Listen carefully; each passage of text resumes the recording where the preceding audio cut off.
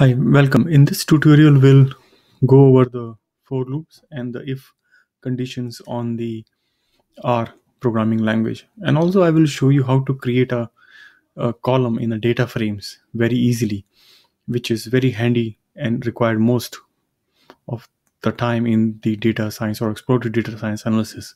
So let's start with first with showing you a simple for loop. So let's create a vector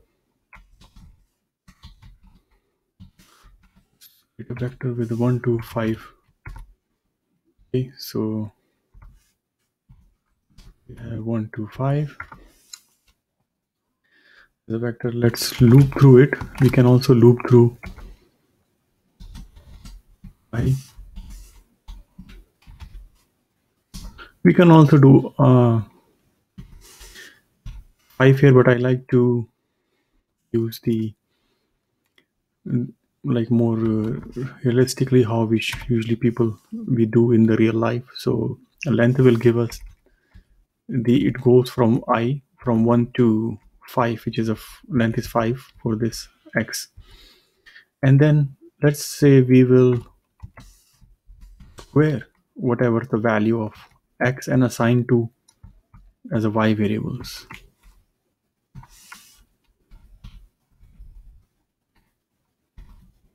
And now if I see what's in the y, we see for each x, it squares its value.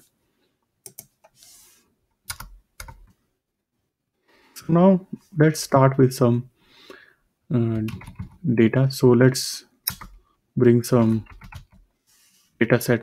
So in R, we have the iris data set. This is a most probably common data set available. So let's see what's inside this data set.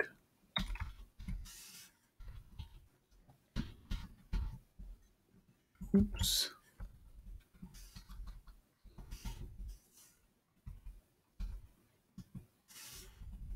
Okay.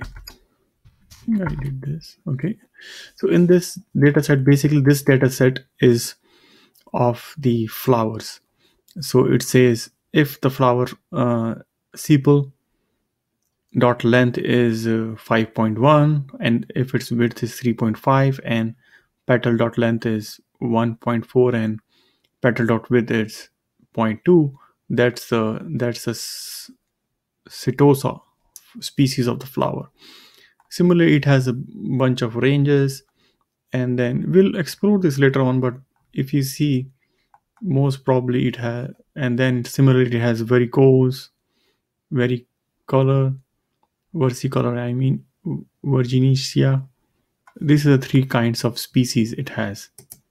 So let's see. If you want to see what you can use a unique function and iris. Let's see the species. So we see it has the three kinds, three which shows as a level as well. Setosa, versicolor, and Virginias. Okay, so we'll explore this data set later on, but let's focus back on. So let's try to create a column here. So if the species is, uh, let's say if the species, sorry, if the species is uh, Virginia, we assign some number to it. And if it's Setosa, then we assign some other numbers. Okay, so let's do that. So let's to use the for loop together with i. So for i in 1, 2,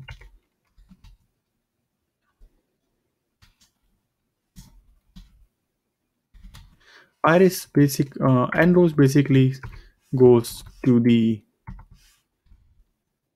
length of the records in this data set. So if we want to show you specifically what how many rows in this data set. So basically it's 150. So instead of hard coding here 150, I think it's better to use some good way to references. So yes, if in future, um, okay, so next is what we'll see, we create a, so if statement. So basically if to syntax of if, let's go through the syntax of if. So if syntax is pretty if you see on the right side it's pretty straightforward. If if we have some condition then do something.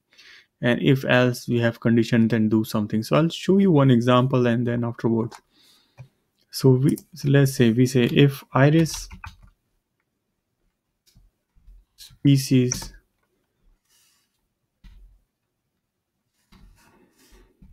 each but since this is a vector then we have to go one row at a time and then if it's equals to let's say Setosa then we create a new iris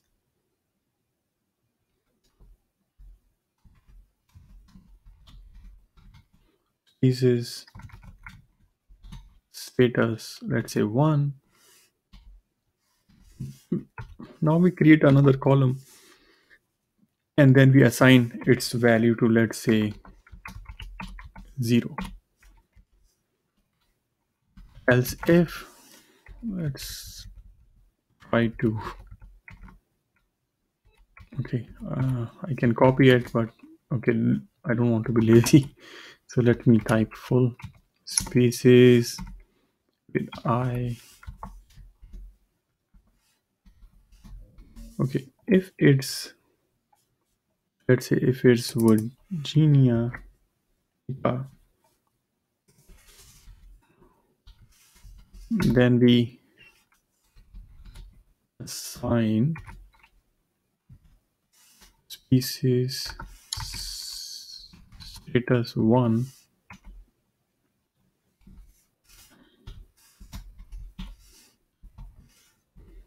So all it's saying is if the species is equals to this, then in create a new columns and assign the value zero. And if it's Virginica, then assign of the flower type Virginica, then assign the type two. Otherwise, I think we can say otherwise just copy this. Okay.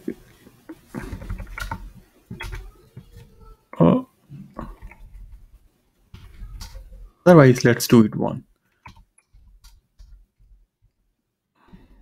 So it shows we have, this is for the for loop.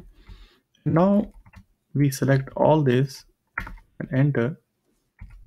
So now it's get, so let's see what's happened to our iris dataset. So we see in our iris dataset as Setosa, this is zero. Okay, that's great. And then it's for very C color, it's 1. So for versicolor, this is 1. And for Virginica, we put it 2. So let's say for this, we can also, if the data set is quite big, then we can also use it. So you see, so species Virginica, then species 2. There is another way of doing this instead of looping all in one by one in each row. So basically how what is happening behind the scene r will go in each line and check its value and then assign a column. We can do all this in an easy way. So let's put in another way of assigning value to column is using if else. So let's say in so we have we'll create another so iris this time instead of species status 1 let me try species status 2 so we can also compare. So all it can be done in one line if else. So let's see its syntax first. So if else is saying if this is true then do this otherwise do this otherwise do no. So in, it's instead of this all these two things we can write in a one line. So now we can say iris and the beauty of this is we don't have to loop. It will do everything in one line. So you can if it's species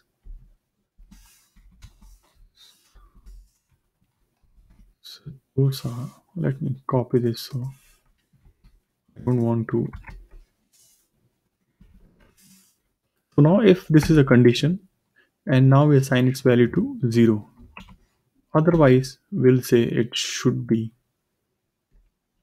1 right? Okay so if I assign this now we still need this Virginica. So what we'll do copy copy this. This don't want to be if we saying if it's Virginica then we want its value to be 2 otherwise just leave it whatever was it. So iris species status 2 so this is here we did the trick. So we so we assign so first we split this the vector or the column into two pieces so here if we if i didn't i didn't run this but i already run this you can notice here.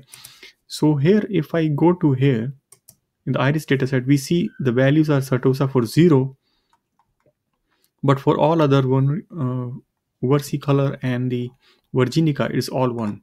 But now we want to split this to again because this one it's actually it should be two not one. And rest we leave it so what we are doing here so we're saying for virginica put it two but leave other one as it is. So once if i update this one with this command so now it's properly match. You see this is all one this is all two. So this is the beauty of r. So instead of i suggest don't go over looping again because we can work in a vector with r. So basically instead of doing each list which makes uh, right now is only 150 rows in iris database but in the real time the data sets are huge maybe half a million or a million records. Then it's easy to use this kind of function and believe me i i use this on half a million and one million to use this if else functions a lot and it's it's it's very fast. I really like this. So that's why i didn't spend much of i want i spent a lot of time on this video to explain this from the ground up. So first we go from uh, zero level where we see okay if one loop at a time and then how we can do it more efficiently. So and also it's if we can do in two lines what's the point of writing the big code? The shorter is better. Okay and also we can double check our iris data set. As so see Setosa is matching 0 and for iris which is we know at the bottom so it's 2 here. Okay so thanks for watching. Stay tuned for the next video. Bye